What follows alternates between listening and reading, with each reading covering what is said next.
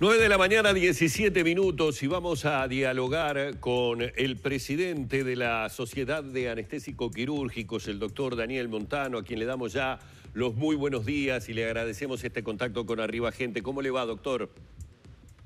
¿Cómo están ustedes? Buenos días. Muy bien, muy bien. Bueno, se imaginará que a partir de los anuncios de la suspensión y reprogramación de todas las cirugías coordinadas, por lo menos hasta el 30 de abril, eh, nos han llovido aquí en Arriba Gente innumerables consultas de muchísimos pacientes para saber determinar exactamente qué cirugías se suspenden y qué cirugías no se suspenden. Vamos a tratar con usted de ir aclarando un poco este, este panorama. ¿Cuáles sí y cuáles no? Bueno, buenos días nuevamente. Este, las, cirugías que se, que se están haciendo, vamos a hablar por positivo, son todas las urgencias, las emergencias y las cirugías oncológicas. Eso este, es lo que se autoriza ahora de acuerdo a la última decisión de la, de la Dirección General de Salud y la Junta Nacional de Salud. O sea, que todo lo demás, la cirugía corriente, se suspende, salvo aquellas que tengan un carácter evolutivo, que agrave la situación y que este, no ocupen camas. O sea que en realidad es un poco como ya estábamos trabajando, porque con el aumento de los casos internados y los casos graves, este, se ha tenido que redirigir los, recursos este, de camas y, recursos humanos a, esas áreas. Bien, ¿y las ambulatorias sí se van a realizar? Solamente aquellas seleccionadas que por su carácter evolutivo puedan agravarse con el, con el tiempo, ¿no? Y, bueno, y esas se, van a realizar este, en forma, se van a seleccionar este, aquellas que, se puedan realizar, ¿no? Es una situación muy, muy difícil, este, está muy parada la cirugía uruguaya, que ya llevamos un año con dificultades, ¿no? Claro, eh, eso le iba a decir. Eh, esto viene, digamos, a acumular una situación que tendía a normalizarse, lo venía haciendo, podríamos decir, eh, relativamente en forma lenta, pero seguramente va a generar un, parate ahora aún mayor.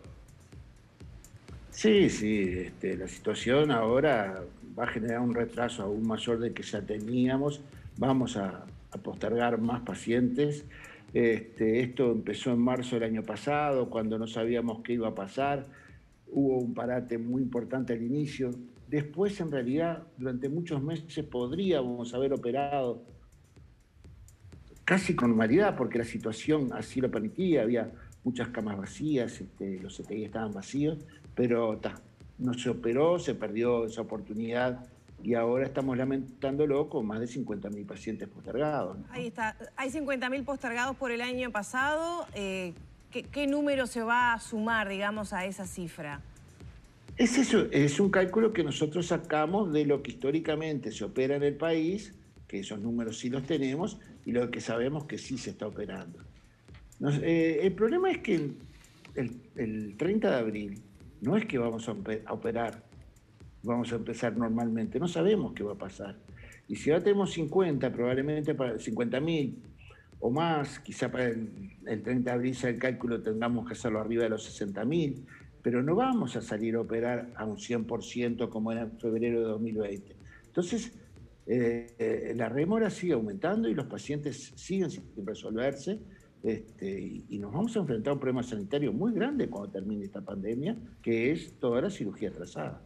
Eh, ¿Qué, sugieren desde la SAC eh, justamente como medidas para, para no llegar a una acumulación o, un retraso tan importante, como usted mencionaba, que va a ser un desafío importante para el sistema de salud?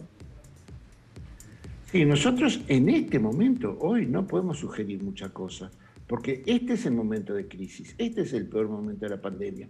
Hoy se justifican este tipo de medidas no estuvieron justificadas en mayo, junio, julio, agosto, septiembre de 2020, cuando no teníamos gran número de casos. Ahora hay que esperar que esta situación mejore y después va a haber que hacer una planificación muy importante para poder aumentar el volumen operatorio en relación a lo que se operaba en febrero de 2020.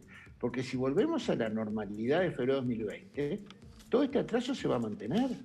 No vamos a poder recuperar. O sea, vamos a tener que operar más de lo que se operaba siempre para poder ir recuperando este atraso. Y para eso hay que hacer una inversión muy fuerte en salud este, y invertir mucho en todas estas cirugías, ¿no? Queda absolutamente claro, doctor. Le agradecemos mucho estos minutos y bueno, esperamos haber eh, alcanzado a una gran cantidad de, pacientes que seguramente seguirán teniendo una serie de dudas, lo irán tratando con, su médico e irán recibiendo estas noticias, pero bueno, usted nos ha, dejado claramente un panorama que habrá que... Eso que... Sí. Eso que tú dices es bien importante por favor, estén en contacto con nosotros. No, no se queden este, desconectados, de, porque hay muchas cosas que evolucionan y si nosotros no estamos al tanto, no podemos hacer nada por la, por la gente. O sea, que estemos en una situación delicada no significa que no se puedan poner en contacto. Hoy por hoy la, asistencia es por telemedicina este, y, y si nosotros necesitamos verla porque entendemos que la situación es así, los vamos a citar a las policlínicas, los vamos a ver y si entendemos que su situación es eh, importante y que no puede esperar, vamos a pelear para operarlos a los niveles que, sea, que haya que pelear. O sea, nosotros estamos preocupados por la gente y del lado de la gente, ¿no? Muy bien, doctor, muy bien. Le agradezco mucho la aclaración, le mando un abrazo y muy amable por este contacto.